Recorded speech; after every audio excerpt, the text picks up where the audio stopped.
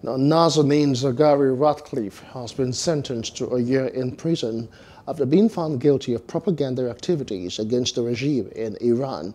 The British Iranian charity worker was also given a one-year ban on leaving the country.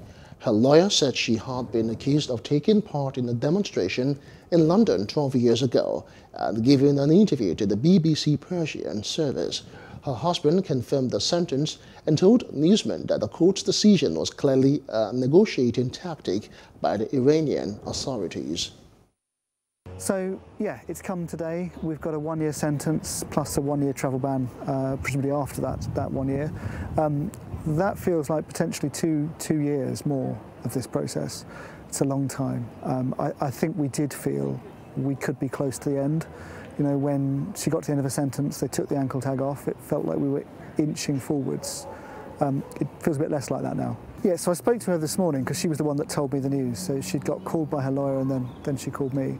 Um, and she was actually quite calm this morning, um, a bit less reassured now. I've been getting text messages through the day. Um, but yeah, probably in the beginning, listening to the, the, positivity from the lawyer, over time reflecting more and, and wondering what it means. And, and know, obviously I was fairly um, bleak with her on the phone. I, I, I, mean, I didn't see it as a good step. Um, and the wider family, I think there's a sense of foreboding. It, it, you know, it, this does come in the middle of the Vienna negotiations. This does come in the middle of lots of things going on. So we don't know what we don't know. It's a signal in that context. It may be that it's not going to be as bad as we fear. Hello, hope you enjoyed the news. Please do subscribe to our YouTube channel and don't forget to hit the notification button so you get notified about fresh news updates.